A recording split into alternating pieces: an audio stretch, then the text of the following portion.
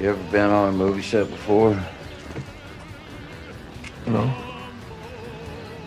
You'll see.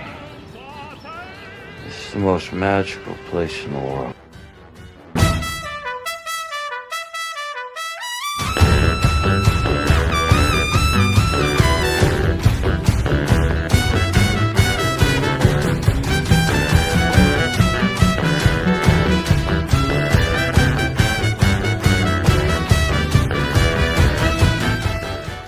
Time to go make a movie.